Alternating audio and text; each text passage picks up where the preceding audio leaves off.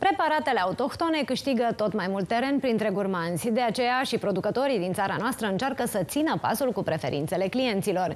Carnea de mânzat, bălțata românească, ar putea detrona chiar suprema carne Black Angus.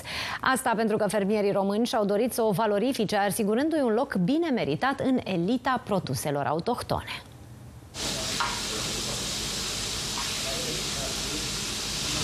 Așa arată unele dintre cele mai pretențioase preparate autohtone din carne de mânzat cerute tot mai des la restaurantele din țara noastră de către gurmanzi. Am o veste bună. În curând, în toată țara se va putea achiziționa o carne de mânzat din bălțata românească, o carne net superioară față de ce importăm precum Angus sau Kobe și la un preț mult mai avantajos.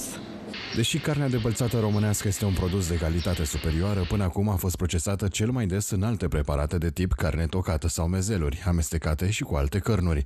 Fermierii români și-au dorit însă să o valorifice asigurându-i un loc bine meritat în elita produselor autohtone. Rasa bălțată românească este o, o rasă care se adaptează foarte bine la zona noastră montană. Este o rasă mixtă, lapte-carne, și fiind o rasă mixtă lapte-carne, am derulat un uh, proiect prin care vrem să facem puțin cunoscută carnea, în special carnea premium de mânzat.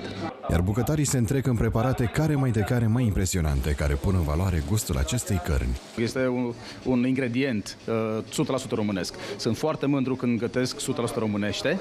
Rețetele sunt cât se poate de simple, dar cât se poate de savuroase, pentru că bălțata românească este extraordinar de bună. Am făcut și terine din ea, am făcut și un aspic, am făcut și gulaș. Ne bucurăm să facem și o parte de părți mai premium, să zic așa, vrăbioară, antricot, muși de vită. Deosebit, e o surpriză pentru mine să văd că avem uh, așa ceva în țară cu o rasă autohtonă. Excepțională, mi-a plăcut foarte mult, uh, sunt mâncătoare de carne de vită, Mie este pe gustul meu, mie îmi place foarte mult.